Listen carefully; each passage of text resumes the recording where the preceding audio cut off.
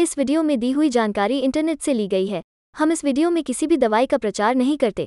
किसी भी दवाई को इस्तेमाल करने से पहले एक बार डॉक्टर से ज़रूर सलाह लें। अगर आप इस वीडियो को देखकर किसी दवा का उपयोग करते हैं और आपको कोई साइड इफ़ेक्ट होता है तो उसमें हमारी कोई ज़िम्मेदारी नहीं होगी। Product capsule selective serotonin reuptake inhibitor SSRI दवाओं के समूह से संबंधित एक प्रकार का एंटी डिप्रेसेंट है। इसे डिप्रेशन तथा पैनिक डिसऑर्डर और ऑब्सेसिव कंपल्सिव डिसऑर्डर जैसी अन्य मानसिक स्वास्थ्य स्थितियों का इलाज करने के लिए व्यापक रूप दिया जाता है।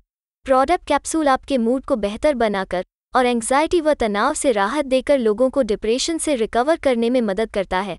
इसका इस्तेमाल बुलिमिया नर्वोसा एक ईटिंग डिसऑर्डर के इलाज के लिए भी किया जाता है, जिसमें यह बिंज ईटिंग और परजिंग उल्टी को कम करता है।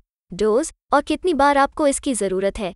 यह आपके डॉक्टर द्वारा बताए जाएँगे ताकि आपको अपने लक्षणों को नियंत्रित करने के लिए सही मात्रा मिल सके। डॉक्टर आपको कम खुराक से शुरू कर सकता है और धीरे धीरे इसे बढ़ा सकता है। अपने डॉक्टर से बात किए बिना डोज न बदलें या इसे लेना बंद न करें, चाहे आप अच्छा महसूस कर रहे हों। ऐसा करने से आपकी स्थिति और भी खराब हो सकती है या आपको अप्रिय विड्रॉल लक्षण, एंग्जाइटी, बेचैनी, घबराहट, चक्कर, सोने में परेशानी आदि हो सकते हैं। अधिकतम लाभ प्राप्त करने के लिए इस दवा को नियमित तौर पर लें तथा हर दिन एक ही समय पर लें। आपको बेहतर महसूस करना शुरू होने में कुछ सप्ताह लग सकते हैं। डॉट, प्रोडक्ट कैप्सूल के कुछ सामान्य साइड इफ़ेक्ट में मिचली आना, अपच, मुँह सूखना, थकान, भूख में कमी बड़ा हुआ पसीना आना साइंसाइटिस अनिद्रा, नींद में कठिनाई, उबासी लेना और असामान्य सपने शामिल हैं।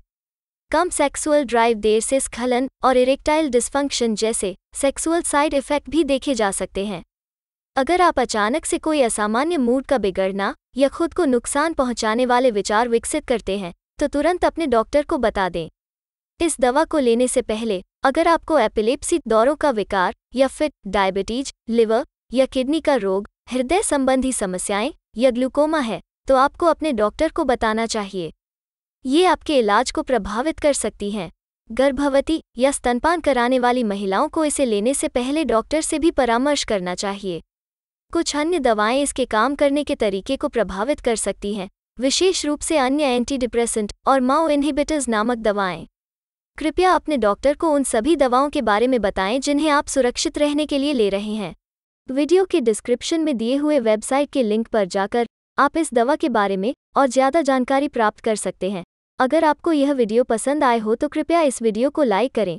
अगर आपका कोई सवाल या सुझाव है इस दवा के विषय में तो आप कमेंट में बता सकते हैं। अगर आपको ऐसे ही और दवाइयों की जानकारी के वीडियोस देखना पसंद है तो इस चैनल को सब्सक्राइब करें।